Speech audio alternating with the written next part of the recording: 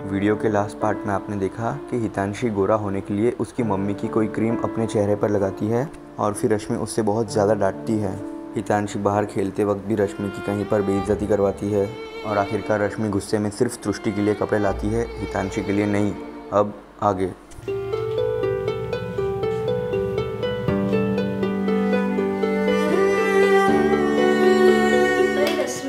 अभी एक हफ़्ते पहले तो घर शिफ्ट किया है।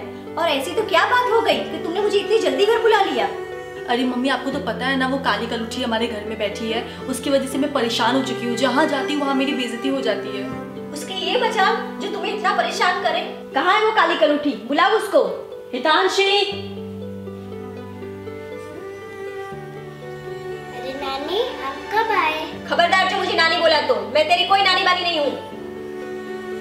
नानी नानी आप आ गए। हाँ बेटा अब कैसे हो? मैं अच्छी हूँ नानी। ए लड़की तू यहाँ पे आके क्यों बैठ गई? चल उठ। जा ये सामान लेके अंदर रख मेरा। अरे नानी आप दीदी को किस सामान उठाने को बोल रहे हो? मेरी तरह वो भी छोटी है ना? और नानी आप मेरी तरह दीदी की भी तो नानी हो ना? ए तू चुप कर ये सिर्फ़ तेरी नानी है समझी तू? इसकी नहीं है। चलो दीदी। मैं आपको सामान उठाने में मदद कर देती हूँ। देखा मम्मी इन दोनों का ऐसा ही है। अब आप ही कुछ कीजिए मैं तो परेशान हो गई हूँ। अरे रश्मि तू फ़िक्र मत कर। अब मैं आ गई हूँ ना। आगे आगे देख होता है क्या। उस हितांशी को तो मैं घर से निकाल के ही रहूँगी।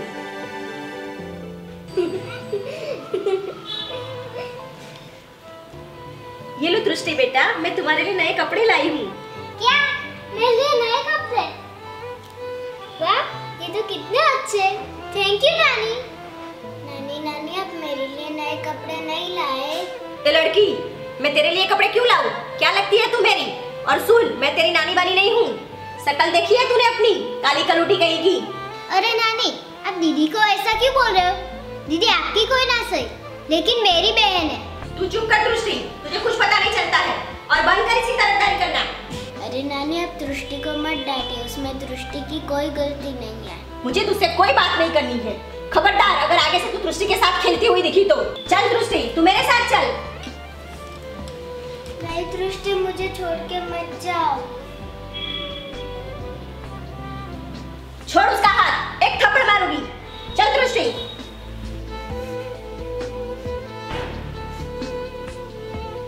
मम्मी आपने कुछ सोचा आज कुछ करने वाले हो उस कलुठी को बाहर निकालने के लिए?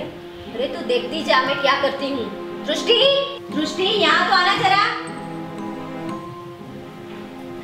क्या हुआ नानी? दृष्टि तुम जल्दी से तैयार हो जाओ।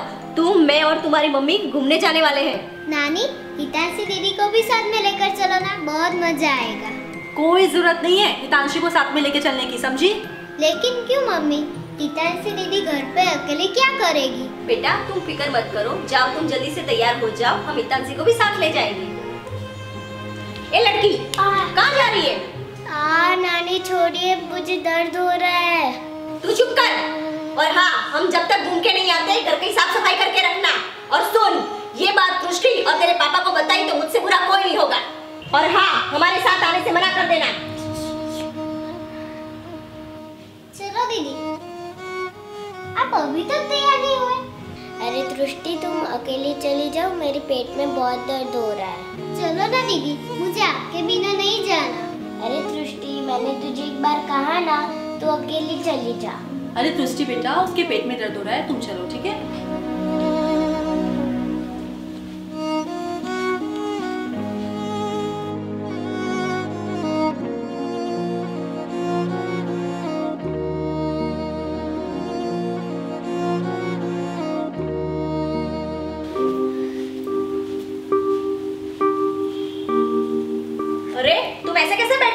सब काम हो गया घर का क्या? हाँ नानी जी सब काम हो गया। क्या सब काम हो गया? मैं बाहर से आई हूँ बहुत थकी हुई हूँ। मेरे पैर दबाओ। अरे नानी जी थोड़ी देर रुक तो जाओ मैं बहुत थक गई हूँ। क्या थक गई हो? क्या काम किया तुमने? पाओ दबाओ मेरे। ए लड़की जितना नानी ने बोला ना उतना कर वरना एक लगाऊँगी। नानी से ज़्यादा जमा लड़ाई तो समझी? अरे मम्मी दीदी थक गई होगी। मैं पैर दबा देती हूँ। तुझे किसी ने बोला? चल अंदर जा चुपचाप से। ए लड़की सुना नहीं तुम्हारी मम्मी ने क्या कहा? चुपचाप मेरे पाँव दबाओ।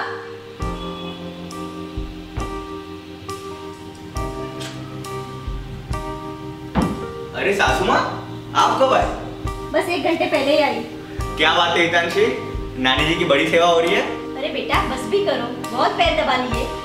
तुषार बड़ी प्यारी बेटी है। देखो ना मैं कब से बता रही हूँ उसे कि जाओ तुम दृष्टि के साथ खेलो लेकिन वो मेरे पैर ही दबा रही है। अरे वाह हमारी बच्ची कितनी प्यारी है मैंने बोला था ना।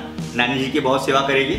अरे हाँ तुषार मैं भी उसे कब से मना ही कर रही हूँ लेकिन वो मान ही नहीं रही है। बस बेटा अब कितना करोगी? जाओ अंदर जाके खेलो। ठीक है पापा। अरे रश्मि इतना कुछ कर लिया देखो ना। लेकिन ये हितांशी का क्या करे? कुछ समझ में ही नहीं आ रहा। अरे मम्मी एक बात बताऊँ आपको।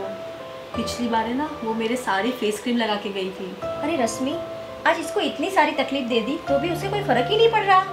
हाँ मम्मी इतना कुछ कर लिया लेकिन ये लड़की घर छोड़ने का नाम ही नहीं ले रही। मम्मी मेरे पास एक आइडिया है। अच्छा क्या?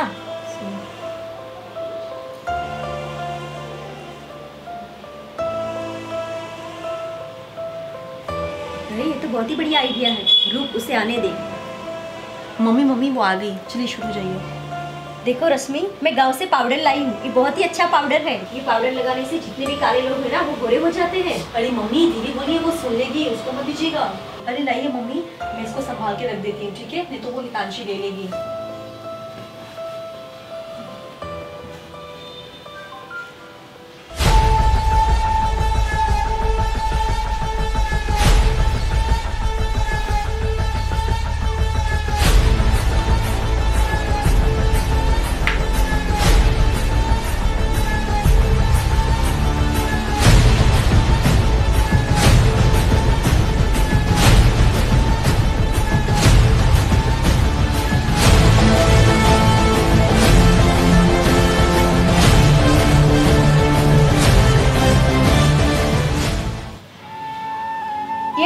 ये तूने क्या किया?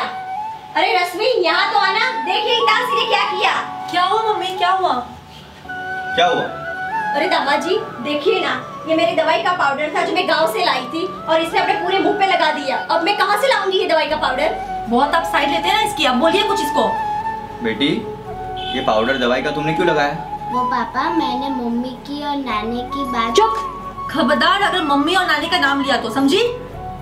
चलो कोई बात नहीं जाने दो। वो मुझे दीजिए।